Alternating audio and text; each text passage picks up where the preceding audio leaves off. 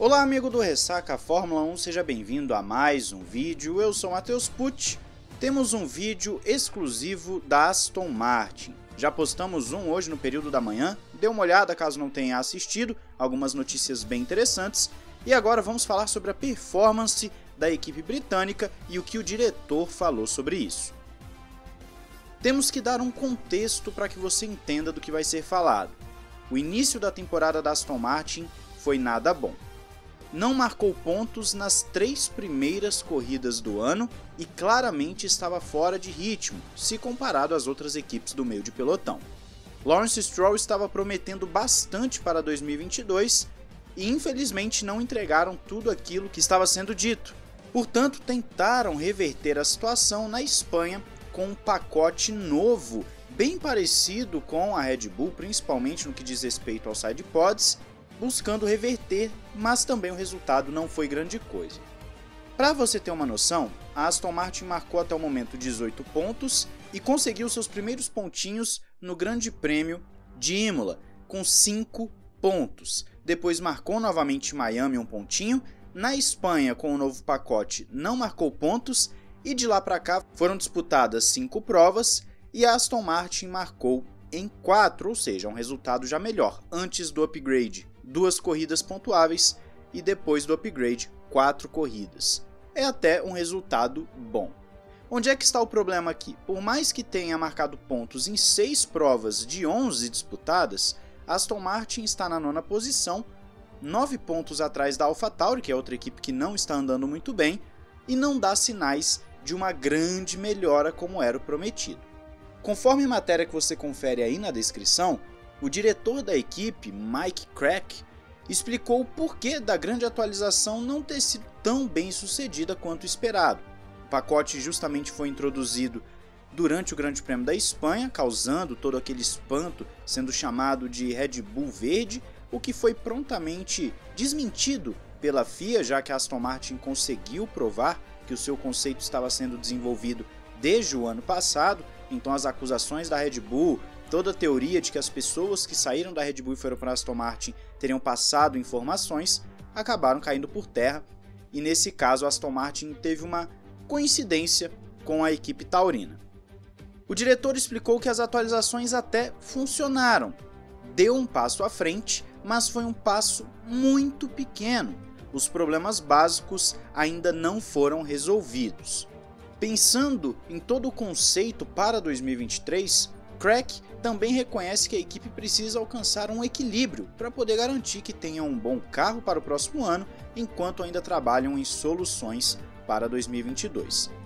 A afirmação é de que é uma decisão difícil de tomar e é claro que não quer terminar o ano assim, mal, ou acabar em uma situação muito parecida com a que estão agora em termos de tabela. Mas também não quer correr riscos para o próximo ano, indicando que não vão simplesmente minar o desenvolvimento do carro de 23 em prol do carro de 22. A conclusão que ele faz do assunto é que tem que avaliar com muito cuidado o que pode ser feito no momento para sair da situação difícil em que estão, sem comprometer o carro do próximo ano. Há muitas discussões acontecendo com o pessoal técnico da Aston Martin e realmente eles estão buscando o equilíbrio. Com certeza o cenário da Aston Martin não é bom, ainda mais que Vettel veio recentemente a público falar que vai esperar para ver se realmente continua na equipe ou não e que ele quer um carro competitivo, capaz de brigar por pódios e vitórias, senão ele não tem mais a motivação para permanecer na categoria. Foi um recado claro a Aston Martin, um recado totalmente direto à equipe, mostrando que se eles não conseguirem apresentar algo que ele considere que vale o risco para 2023, não existe motivo para ele continuar na categoria, até porque as portas das principais equipes estão no momento fechadas. O trecho final da entrevista é basicamente uma pergunta fazendo um paralelo com a Mercedes, que enfrentou vários problemas com seu carro em 2022 e tem conseguido resolver. E Toto Wolff até afirmou um tempo atrás, como vocês conferiram aqui no canal, que primeiro precisaria resolver os problemas de 22 para depois pensar no carro de 23. Quando Crack foi perguntado se é uma circunstância parecida, ele respondeu que acha que o diretor técnico sabe muito bem o que eles têm que fazer para o futuro e ainda é uma questão de tempo e recursos financeiros, mas acredita que conseguiram mapear os problemas, então eles já podem pensar em 23, porque já tem uma boa noção do que está causando todo o problemão para Aston Martin. A expectativa, por conta de tudo que é falado pelo Lawrence Stroll, pelo que é colocado pela própria equipe, sempre foi alta, uma expectativa de uma equipe que conseguiria vir para brigar, conseguiria vir para disputar por pódios. Tem feito uma reformulação interna e também estrutural, construindo grande parte daquilo que está se tornando a sua base de operações, o que mostra um investimento pesado numa equipe que quer vencer. Muitos criticam que tem o Stroll lá, no caso o filho, e isso seria uma mentalidade de quem não quer vencer, mas somente manter o filho. Ok, é um ponto argumentativo. Mas para mim o pior é a bagunça interna que a Aston Martin passa. As notícias que saíram desde o final do ano passado até agora só mostram uma equipe que tem sido comandada por alguém que não entende do assunto.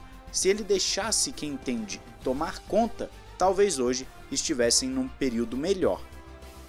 Vale lembrar que só foi o Lawrence Stroll chegar que a equipe começou a ter algumas polêmicas no seu currículo, como a Mercedes Rosa, já que o Stroll é muito parceiro do Toto Wolff, então essa relação Mercedes e Aston Martin estava muito umbilical já naquele período. Além disso, um carro que vem sendo desenvolvido com muito recurso, com muito afinco pela Aston Martin, mas que colocou para fora o cara que talvez fosse o grande responsável por ter feito Force India barra Racing Point crescer absurdamente, que é o Otmar Zafnauer, que agora está na Alpine e pode sim desenvolver um bom trabalho lá. Tirar o Otmar Zafnauer, ainda mais colocando outras pessoas para tomar conta da equipe enquanto o Zafnauer ainda estava lá, e isso causar um racha na equipe, só mostra que não há um bom gerenciamento. E ainda para piorar, saiu uma acusação recentemente, você deve ter visto, de um ex-funcionário que estava falando que o pessoal da Aston Martin o tratava com discriminação, racismo, e ele cita num relato que você pode conferir aí na internet que ele realmente estava sendo de forma deliberada abusado psicologicamente nesse caso, moralmente. Então Aston Martin vive um inferno, vamos assim dizer, interno, onde a equipe não desenvolve, eles estão mais envolvidos em polêmicas e em questões extra-pista do que em performance pura, e toda essa mídia negativa não é boa para a equipe pelo simples fato que eles não estão conseguindo reverter isso com argumentos de performance, de, de desempenho, de desenvolvimento do carro. Fizeram também muita propaganda no que diz respeito ao novo pacote que estreou em Barcelona, mas até agora não foi para frente e pelo visto nem vai mais. Ainda temos uma segunda metade de temporada pela frente, e se a Aston Martin vai recuperar ou não, isso só o tempo dirá. Quero saber a sua opinião sobre esse assunto? Diz aí nos comentários, não esqueça de se inscrever e ativar o sininho para não perder nada. Um grande abraço, valeu e falou!